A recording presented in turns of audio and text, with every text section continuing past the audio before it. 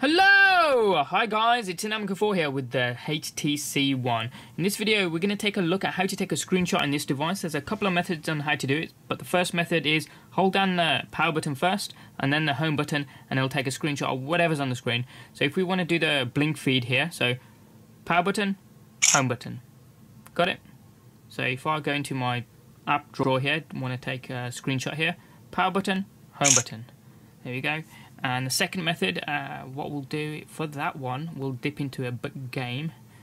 So if I want to take a picture of what my boy here in GTA is doing, again, I'll hold down the power button, but this time the volume down button at the same time. You don't do the power one first, you do these at the same time. So here we go, three, two, one, go. See? And if I just move him around, put his back this time, again, three, two, one, go. Like so.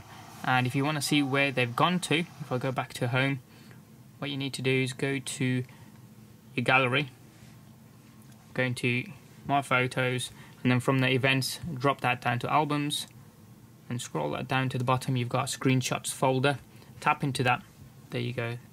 Those are the screenshots that we've taken. So the home screen or the BlinkFeed, the app drawer, Grand Theft Auto with the guy there and with his back to the camera, the second one that we did there. And that's how easily you can take a screenshot on the HTC One. Any comments or questions you guys have got, hit them up in the comment section down below there. Give us a thumbs up if you like this video and you like what you saw. If you haven't already done so, hit subscribe. It's also down there as well. Doesn't cost you a penny and you can check out some of our future videos. Thanks for watching. Have an awesome day and we'll see you next time.